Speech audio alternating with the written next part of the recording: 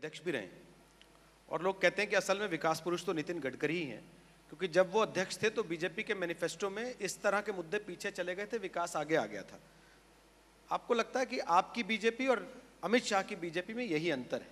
कि अमित शाह की बीजेपी में मंदिर आगे है, और पिछले तीन महीने में जब जब चुनाव का ज़िक्र हो रहा था तो ऐसा लग रहा था कि मंदिर आज नहीं बना तो कल तो बन ही जाएगा। देखिए, कोई बीजेपी में अंतर नहीं है। बीजेपी ये फैमिली पार्टी नहीं है। अटल बिहारी वाजपेयी इतने कद्दावार नेता थे, पर बीजेपी कभी अटल बिहारी वाजपेयी के नहीं बने। अडवाणी जी की नहीं बनी, नितिन गडकरी की नहीं बनी, ना मोदी की बनेगी, ना अमित शाह की बनेगी। बीजेपी का अपनी एक आइडियोलॉजी है और कार्यकर्ताओं की पार्टी है। और इसलिए बीजेपी अपनी विचारधारा के आधार पर हम ये विश्वास रखते हैं। अभी ये बात सच है कि image versus reality and ground reality versus perception वाली कहानी हमारे साथ जुड़ी